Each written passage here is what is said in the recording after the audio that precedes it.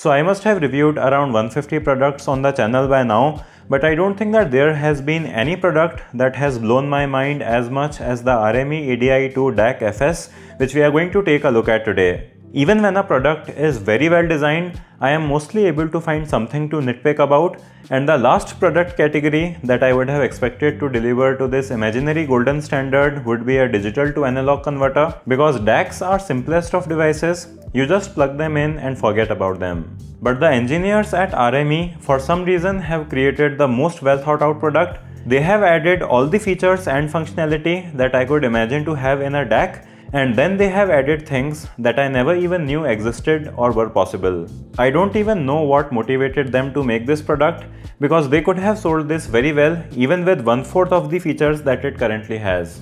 And if you are thinking that I am exaggerating how good this is, consider the fact that this DAC, a DAC, has a dual BIOS system so if you are upgrading the firmware and it fails, it can use its safety BIOS to boot up. If you are thinking that I am exaggerating, consider the fact that this DAC allows you to adjust the color tint of its display. So if after a long time of use the display becomes yellowish, you can correct that by adjusting the color temperature. And we have not even reached close to the actual functionality of this device, which is to convert a digital signal to an analog signal so you can get high quality sound from your PC or other media players to your speakers and headphones. Before I got this DAC, I had to use this very complicated setup with many cables, but this DAC just replaced everything and it also replaced the equalizer APO software that I had to use, which I really wasn't expecting as that is a very advanced software. So let's actually get on to starting the review video and we will talk about how it is the ultimate audio solution for even the most demanding of the audiophiles and before we begin, I will tell you that this DAC costs around 1200 US dollars or around 1.1 lakh rupees in India. And while that is a very high price tag, it is very easily justified for this product and I am actually putting my money where my mouth is because I have actually bought this DAC from Ansata Computers which we will talk about. But even if this product is not in your budget, I will recommend that you watch this video because by the end of it, you will have learned a lot about audio in general. Hey guys, I am Siddharth and this might become the longest video that I will ever make. So feel free to use the timestamp navigation if you feel overwhelmed by everything that this DAC has to offer.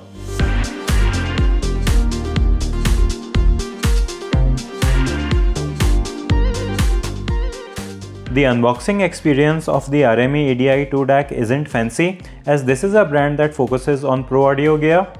You get the manual, a remote for controlling many features, a USB cable, the power adapter and lastly the DAC itself. The manual on the ADI 2 DAC is the best that I have seen yet because it hasn't been written like an ordinary product operation guide but instead it is almost like a story of how and why RME's engineers designed this DAC.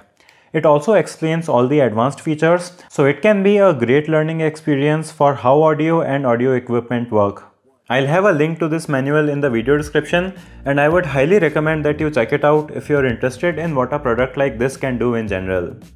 Physically, the RME ADI DAC looks pretty serious and professional but in a good way. It is a black box that doesn't have anything unnecessary going on with the design. The DAC does have nice looking feet underneath it and I am not sure if there is any surface decoupling going on here that helps with its performance. At its back, you have the power adapter jack that is lockable so it stays secure. Then you have a USB port and you also have coaxial and optical in for connecting it with all kinds of devices like TVs, PCs and then we get to its outputs where we have RCA line out and a balanced XLR out. On front, you have the power button, then a 6.5mm headphone out port, a 3.5mm port specifically for earphones and both of these are unbalanced. Then you have the big volume wheel that you can also press for different functions. So a single press will mute the DAC and a long press will change the outputs when you have that function enabled because you can also make it play through all the outputs at the same time. Then there are 4 buttons for different settings that have very elaborate menu pages and these buttons can actually also be assigned different functions too. Then finally, we have the two knobs that can also be pressed and you will use these to navigate the menu, change settings and on the home screen they change the bass and treble levels in audio when you have that enabled and the frequency and the Q value that they affect can actually also be changed so that really makes this feature much more usable. The knobs and buttons on the DAC feel really good. You feel the Germanness in their clicks and presses when you operate them and the faster you turn them, the higher the rate of change is in whatever it is that you are adjusting.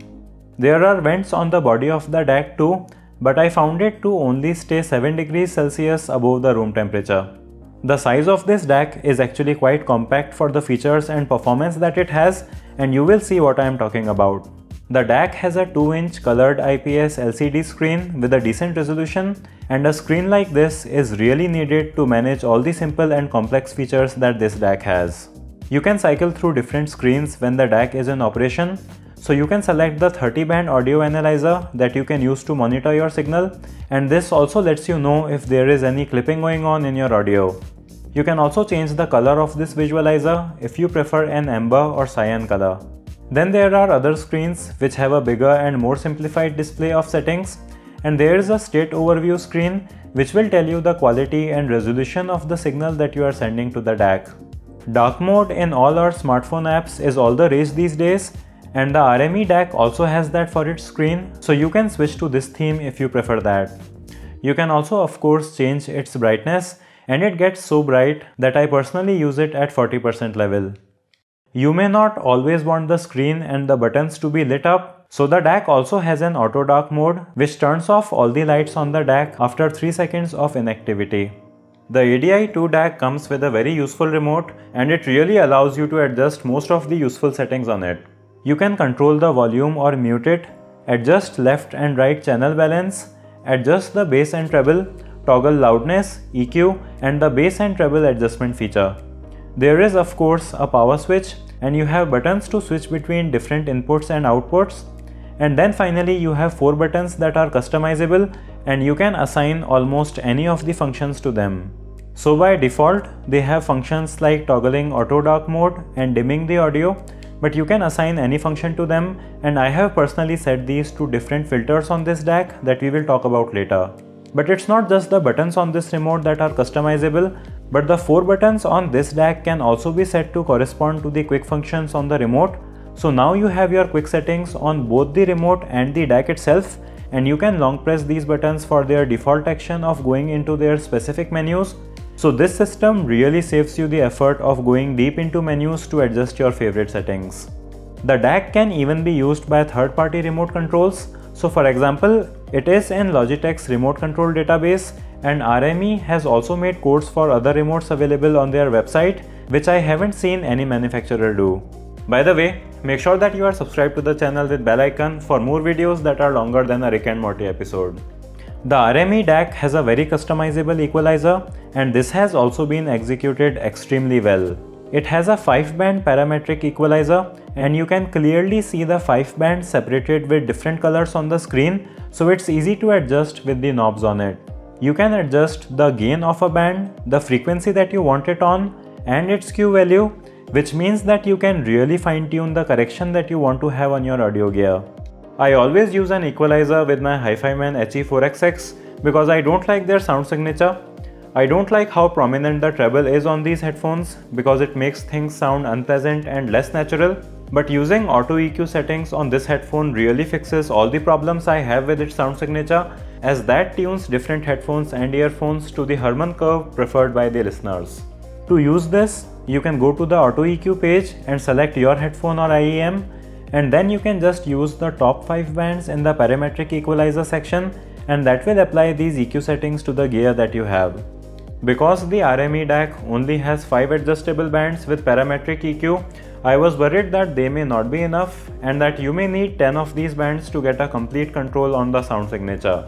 But RME has also addressed this concern in their manual and they have explained that beyond 5 bands of parametric EQ, it really makes a minimal difference and in practice, my HiFiMan HE4XX also sounds almost identical to how it sounded when I used the graphic EQ in Equalizer APO, so they do seem to be right there. But the awesomeness doesn't just end here, because all of the different outputs on the RME DAC can have their own equalizer settings, so I can only have this EQ enabled on the headphone out, and you can have different EQs enabled or disabled for your IEMs, headphones and speakers. This is such a game changing feature because combined with the ability to change channel balance when I am using this with my studio monitors, the RME DAC just completely eliminates the need for me to use the equalizer APO software and that is a very complicated piece of software. So the fact that you can completely replace that with an equalizer that is built into a DAC is something that I never thought was possible. This is actually even better than using equalizer APO because when I used it, I always had to disable or enable different filters whenever I switched between headphones and speakers but with the RME DAC, you never need to do that as you can apply different EQ settings specific to the outputs that you have selected. But you might be a person who uses more than one headphone, so you must be thinking that you will have to tweak these settings every time you change headphones. But the Germans have also taken care of that because you can actually store 20 equalizer presets on this DAC and you can also rename them for specific headphone models. So you can very easily select different EQ settings for different gear. Just focusing on this point again, that you can rename equalizer presets on a DAC. You can also of course use EQ for room correction with your speakers and if you are using a DAW or any other software with ASIO output, it bypasses the software equalizers like Equalizer APO so the output from these software will also have the EQ settings applied which is just not possible with other methods. And if you thought that this was the limit of their equalizer implementation, then you would be wrong because there is actually more to it and you can actually have different equalizer settings applied to the left and right channel and while there are some niche use cases for this dual EQ mode, if you have suffered an injury or other health problem that has affected your hearing, you will most probably have a difference in how both of your ears hear sound. So with this feature, you can set a different sound signature for one ear to compensate for the difference and this can really be a heaven sent feature for people who have impaired hearing. They have also built in a feature called loudness which boosts the treble and bass when you lower the volume and because of how our ears hear sound, doing this at lower volume keeps the music sounding good. Now a difference between listening to headphones and speakers is that when you are listening to speakers, the sound from the right channel goes to your left ear and the same happens with the sound going from left channel to your right ear. With headphones, you don't experience this phenomena because sound is isolated on both of the channels for each ear. So this DAC has a feature called crossfeed which tries to emulate the feeling of listening to a speaker on a headphone by feeding some frequencies from each channel to the other one. And it also includes a calculated delay. So even though I personally don't use this feature on headphones, it is there for people who prefer using it and it is not easy to find media players that have this feature. You can also change the stereo width of your audio, which is not the same as crossfeed, and you can not only make it narrower, but you can also make it go in reverse, which swaps the left and right channel. It is also very easy to make the signal mono with a single button. So with the addition of the ability to dim the audio, change input and outputs and control volume, this has really made my Mackie Big Knob obsolete for my desk and this is why the RME ADI 2 DAC really is a single unit replacement for all your audio setup needs. The DAC has different conversion filters that you can select between and they have given the impulse response charts of these filters in the manual. The short delay sharp is the default filter and has the least latency and the non-oversampling filter looks really good but there is actually more to these filters than their graphs. Now I don't hear an audible difference between these filters that I was expecting seeing their graphs. So even though one might have a more wiggly graph than another, it may not be audible in practice. But the difference that is audible between these filters is that of their frequency response because the high frequency roll off in the NOS filter is audible. So I switch to the NOS filter when I am listening to tracks that are treble heavy. So the NOS filter nicely rolls off their edge. Otherwise, I use the sharp filter as default and I have set it to shortcut buttons on the DAC and the remote so I can quickly switch between them. The RME DAC can work as a plug and play device on your PC, but you can also easily install its drivers from their website. And in addition to installing ASIO drivers for this, it will also install their MADIFace software which has useful features like detecting any errors or inconsistencies in the USB signal. And now it's finally time to talk about how good this DAC actually sounds. And the reason I bought it is because I just wanted an endgame DAC for me because after upgrading to different DACs, I realized that there is no point of getting a 400 or $500 DAC if I will need to make another higher priced purchase later on and this DAC has really delivered on much more than what I wanted it for. I personally only needed a DAC with my budget of 1 lakh, so I thought that I would get the best standalone DAC possible and then I could upgrade my headphone amp later on. So after a lot of research, the two products that I was confused between were the Chord Qutest and this RME DAC. And if you watch audio gear reviews, you must know all the hype that surrounds Chord products, so I was also quite intrigued by that. Now if you try to find out which one of these sounds better just as a standalone DAC, then you would find that most people on the internet say that both of these products are very close in sound quality with some people preferring the Chord Qutest and some people actually preferring how the RME DAC sounds. There is a lot of vagueness and subjectivity when it comes to audio gear reviews and the high-end DACs can actually be quite difficult to find differences between. But even if the Chord Qutest is slightly better in sound quality, let's just say for example that it is 5 to 10% better in sound quality, even if that is the case, the RME ADI 2 DAC just blows its competition completely out of the water because it packs an unthinkable variety of features and control over sound that will be more than enough for even the choosiest of the audiophiles. There are lots of snake oil concepts and opinions in the audiophile community, but once you consider the sheer practicality that a device like the RME ADI 2 DAC can bring to your audio setup, you will really understand what kind of unsurpassable value it delivers without compromising on the performance. The RME DAC has their steady clock FS technology which makes it have extremely low jitter and it doesn't have to depend on the quality of the incoming clock signal. It can convert up to a 32-bit 768 kHz signal and it supports DSD direct but not MQA which I personally don't care about. The DAC chip inside is AKM's AK4493 and that is the extent of specs and numbers that I'm going to discuss. So first I tested this DAC with my Adam A5XS and I compared the sound with my $100 SMSL Sanskrit DAC which is also a pretty great DAC at its price point. I have talked about this in my Adam A5X review, but the RME DAC just took the soundstage and the quality of the A5Xs on a totally next level. The depth of the soundstage increased so much that it feels like the sound is coming from a point behind my display monitors and this really opened a new dimension of experiencing sound with my Adam speakers. The biggest difference in the quality of the sound was in vocals because when I switched between my RME DAC and the SMSL Sanskrit, the vocals on SMSL Sanskrit felt really bad in comparison because they felt very compressed and artificial. The vocals on the RME DAC were much more natural in comparison and I never realized what I was missing with the SMSL Sanskrit until I made this comparison. Now of course there is a huge price difference between these two DACs. The RME DAC costs 12 times as much as the SMSL DAC but once you get a decent enough DAC like the Sanskrit, upgrading the DAC might not make a huge difference and you may have to listen carefully to notice changes. So the fact that the difference with the RME DAC was so big and obvious really tells you what kind of a jump there is in the performance of its DAC. I also tested my HE4XX planar magnetic headphones with this and while these are not the most power hungry headphones, these do require a good amount of power to sound good. The headphones also sounded significantly better compared to my stack of Objective 2 headphone amplifier connected to my SMSL Sanskrit DAC.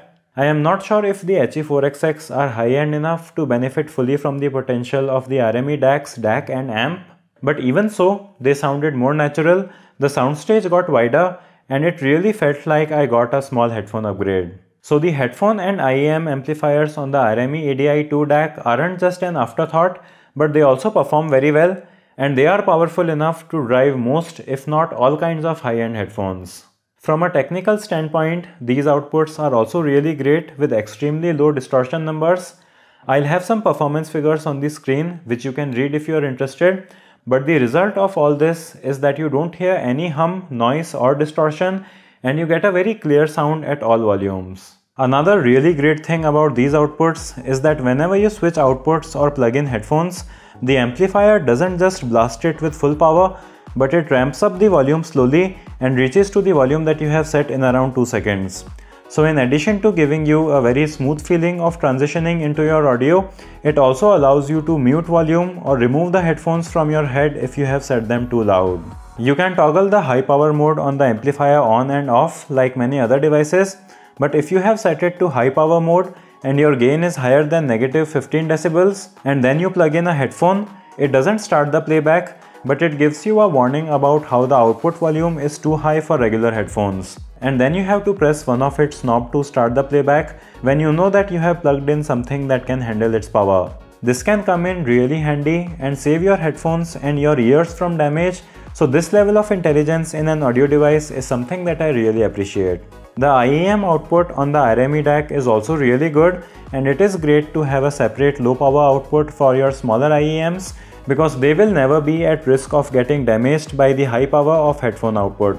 Now the only drawback to the amplifier that we have on it is that it is not balanced but if you feel that you really need that, you can get a balanced amplifier and still use this DAC in your system because it does have balanced XLR outputs. So in conclusion, I just never thought that I will ever cover a product like this. The RME ADI 2 DAC truly offers a level of control over audio that I never imagined I would see in a product on a hardware level. I am almost emotionally moved by how well thought out this DAC is because after years of seeing products that mostly have something about them that could be improved, this DAC just over delivers in all areas and it just overwhelmed me with how well something like this can be executed. Even with the length of this video, I had to skip many features like the ability on this DAC to actually record PCM and even DSD audio digitally over SPDIF.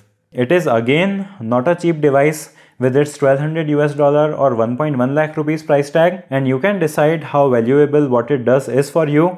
But personally as a product reviewer, this DAC has just gone beyond the concept of price tag for me and I truly think that this is one of the best deals in high-end audio. You can dig an even deeper hole in your pocket and get some exotic R2R DAC, but personally for me, this is the point where I feel very comfortable settling at for the foreseeable future. And I don't know of any other product that can touch this in terms of functionality along with its performance. So I'll of course have links to buy this in the video description, but if you are in India, you may not be able to find this easily, so you can check out Ansata Computers website and order from them because that's where I bought it from. I was a little skeptical about paying this huge amount online, but then I checked out RME's website where they are listed as RME's official national distributor and then I also talked to them and they exclusively deal with pro audio gear so they have very specific clients. So then I ordered this and got this delivered very quickly and safely. So getting this in India was really not as complicated as I had initially thought. Another really great news is that for the people who have made it this far in the video, Ansata is also providing a real audio nerd discount and you can get 10% off on the RME ADI 2 DAC if you apply this coupon code on the screen on their website or follow the link that I have in the video description where I will also have some more interesting discounts. 10% off on it is actually around 10,000 rupees which is pretty sweet and you can also buy it on EMI if you don't want to take a big hit on your wallet in one go. And that was finally it for this video. Do let me know about your thoughts on this DAC in the comment section below. Make sure you give this video a thumbs up if you learned anything today. Subscribe with bell Thanks for watching, especially if you have made it this far towards the end, and I will see you in the next one.